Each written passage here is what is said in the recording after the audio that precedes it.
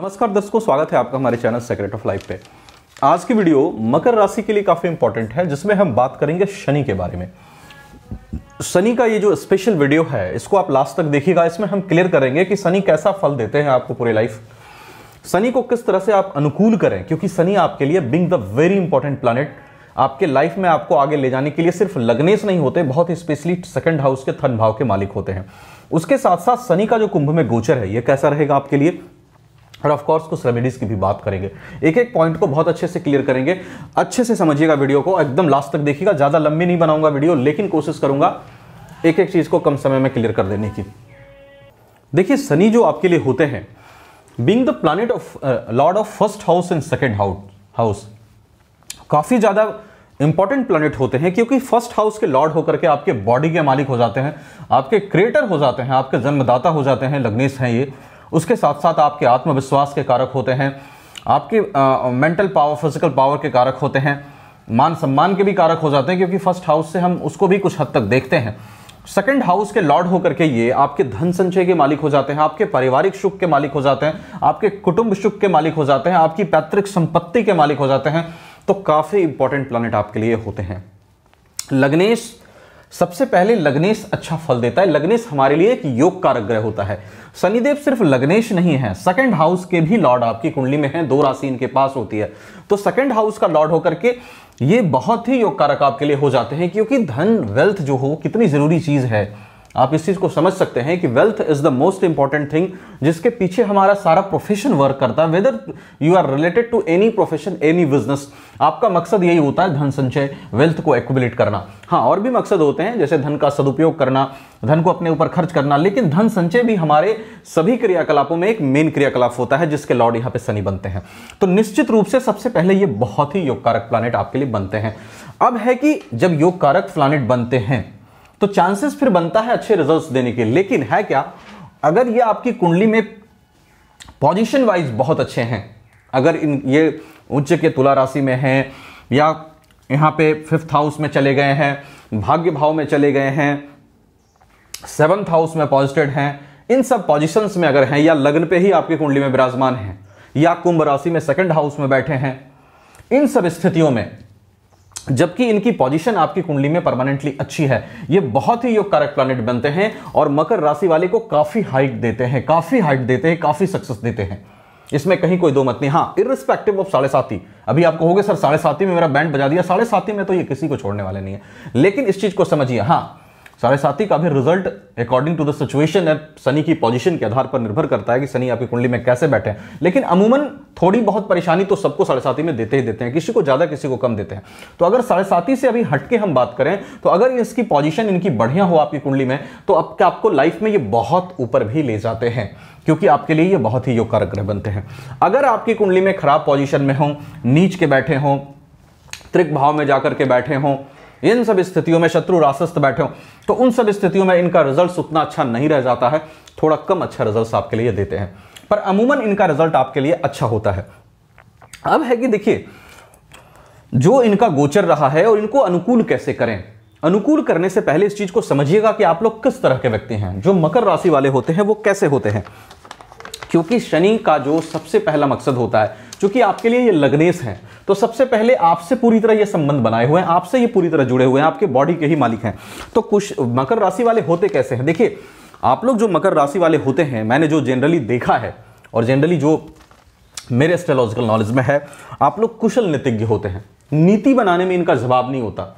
ये प्लानिंग बड़ी अच्छी करते हैं मकर राशि वाले। और प्लानिंग के साथ साथ विचारशील होते हैं, चिंतन करने वाले होते हैं। जब तक चिंतन नहीं करेगा आदमी, विचारशील नहीं होगा तो प्लानिंग अच्छा नहीं कर पाएगा। विचारशील होते हैं, चिंतन करने वाले होते हैं। उसके साथ साथ जो आपकी कैपेसिटी होती है, ये सब पॉजिटिव पॉइंट है आपका। बड़े ऑर्गेनाइजेशन को चलाने की क्षमता रखते हैं। नेतृत्व क्षमता आपकी अच्छी होती है। खास करके जो फोर्थ ग्रेड लोग हैं, उनको बहुत अच्छे से आप मिला करके, लेकर के अपने लाइफ में चल पाते हैं। ये आपकी कैपेसिटी होती है। और आपको जो पसंद नहीं होता, अपमान आपको थोड़ा भी पसंद नहीं होता। जरा सा भी अपमान इनको पसंद नहीं होता है। इसी वजह से इनको देखिएगा, जब आप ग्रुप में होते हैं, आपको लगता है कुछ नए अपरिचित लोग हैं तो वहाँ पर आप कम बोलते हैं। क्योंकि आपको अपमान का डर होता है, आपको लगता है कोई हमें डांटे ना, कोई हमें गलत ना बोल दे। इस चीज़ का भय आपको होता है। लेकिन जहाँ पे परिचित लोग हैं, आपसे फैमिलियर लोग बैठे हैं, वहाँ पे बड़ी मस्ती करते हैं ये। जो जिन लोगों को ये पहले से जानते हैं, कोई नया आदमी नहीं हो तो वहाँ कॉन्फिडेंस इनका कमाल का होता है, वहाँ से हंसना, बोलना, सब चीज़ इनके अंदर होता है। पर नई जगहों पे या नई आदमियों के साथ थोड़ा सा कॉन्फिडेंस ये लैक करते हैं, क्योंकि इनको अपमान का बड़ा भय होता है। उसके साथ साथ क्या होता है आपके अंदर? प्रेम बहुत करते हैं अपने परिवार वालों से, लेकिन उसको जताते नहीं है इतना। दिखाते नहीं है इतना, लेकिन प्रेम इनको अंदर ही अंदर बहुत होता है। प्लानिंग जो भी होता है आपके लाइफ में प्लानिंग बहुत ही सेक्रेटली मकर राशि वाले करते हैं, बहुत ही गुड प्लानिंग करते हैं। तुरंत सबको सब चीज़ जानने नहीं देते, और कभी भी आपके सामने कोई सक्सेस करे, बड़ा सक्सेस पाए, आपने सुना तो आप घबराते नहीं हैं। आपको खुद पर विश्वास होता है। एक तो बहुत बड़े बड़े सक्सेस को पाने की कैपेसिटी होती है आपके अंदर और इच्छा भी होती है कि बड़े बड़े चीज़ों को जीवन में हासिल करें और किसी को भी जीवन में आगे बढ़ते देखते हैं। तो ऐसे मकर राशि वाले लोग परेशान नहीं होते, खुद में भरोसा रखते, ठीक है, तू बढ़ रहा है, लेकिन एक दिन मैं भी बढ़ूँगा। ये विश्वास आप में होता है। ये सब आपके प्लस पॉइंट है।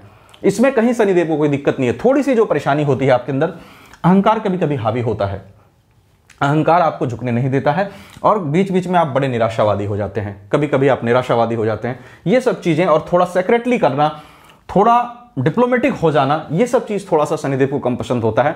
बाकी सारी चीज़ें आप में अच्छी होती है। तो अगर इन चीज़ों को थोड़ा सा आप कंट्रोल करें, जैसे एंगर को कंट्रोल करें एंगर ज़्यादा नहीं होता, पर अगर अहंकार को कंट्रोल करें, थोड़ा सा अपना सेल्फस नेचर को अगर कंट्रोल करें तो फिर शनि की को आप ज़्यादा अनुकूल बना सकते हैं। और उसके साथ साथ अगर शनि सही पोजीशन में बैठे हैं, शनि के मंत्रों का जप कर सकते हैं। शिव जी की थोड़ी आराधना करिए। बीच बीच में कभी हनुमान जी की थोड़ी आराधना करिए। इससे भी शनि अनुकूल आपके लिए होंगे। तो इस तरह से आप शनि को अनुकूल रख सकते हैं अपने लिए। उसके बाद है कि अब शनि का जो कुंभ में गोचर है, ये कैसा है मेरे लिए? देखिए, साढ़े सात ही आपको चल रही थी। चल ही रही है। सेकेंड फ़ेज़ में आपके क्या हाल रहे हैं, मुझे बताने की आवश्यकता नहीं है। सबसे ज़्यादा आपके प्रोफेशन पे प्रॉब्लम किया है। फैमिली लाइफ पे शनि शनिदेव ने प्रॉब्लम किया है। मैरिज लाइफ में कईयों के प्रॉब्लम किया है।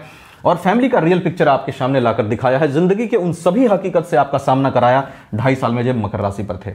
अब ये कुंभ में जा रहे हैं। फ़र्स्ट हाउस से निकल के यहाँ पे।